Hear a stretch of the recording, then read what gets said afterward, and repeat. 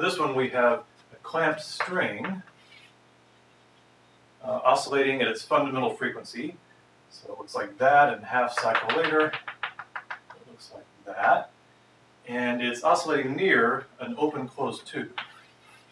So if the string is right at a at a um, uh, a fundamental frequency of the tube, it'll make it oscillate really large, and you'll hear the sound.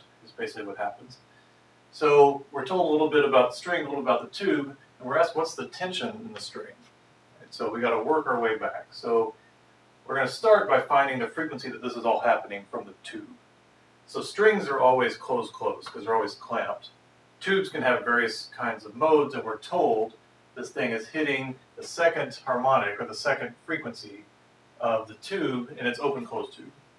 So if you want to think about those modes, you can say, well, I know open closed, if I plot the pressure uh, versus position like this, you don't have to do this, but say you're going to plot pressure versus position, at the open end it's always at atmospheric pressure, but at the closed end it can change.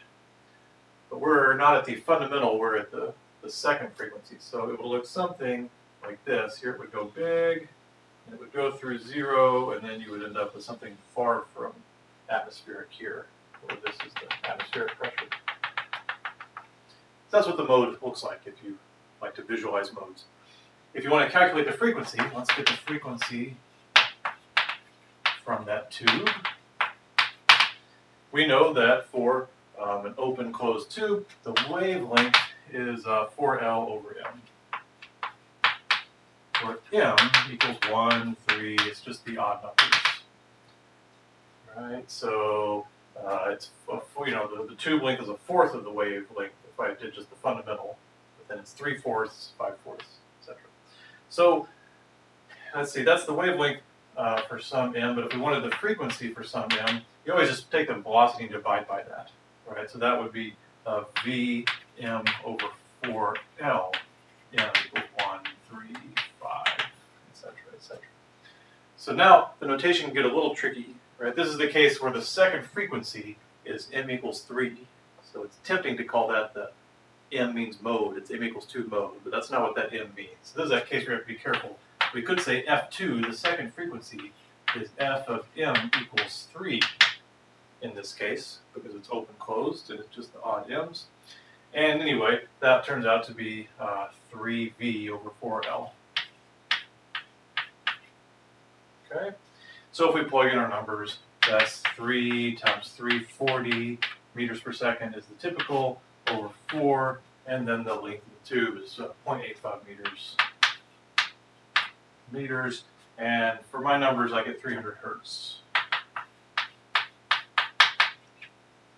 So that's the frequency of the uh, second uh, harmonic we're exciting here in the tube, and it must also be the frequency of this string. All right, so now let's apply to this to the string.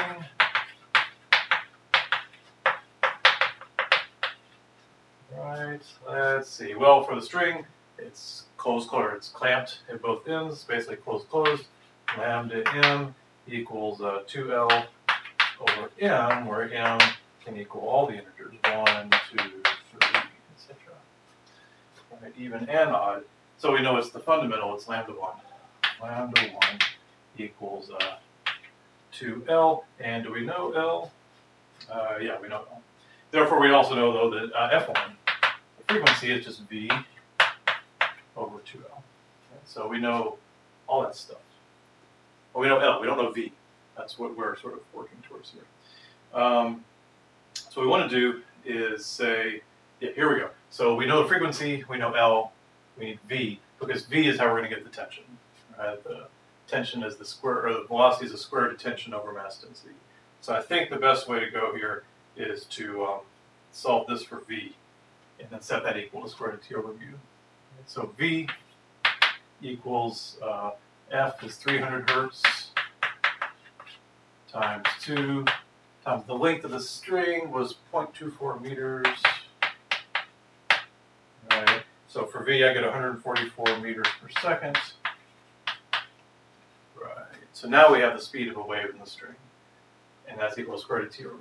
144 meters per second square root of tension over the mass density, which is 25, but be sure to convert it to kilograms. So it's 0.025. Alright. So you just square both sides. When you square 144, that's actually called doing the gross gross. You've never done that before. And you'll square both sides, you'll multiply by 0.025, and the tension you get is 518 newtons. So that's a case where we used the two definitions of velocity. We used the fact that it's frequency times wavelength, and we used the fact that it's the square root of t over mu for a string.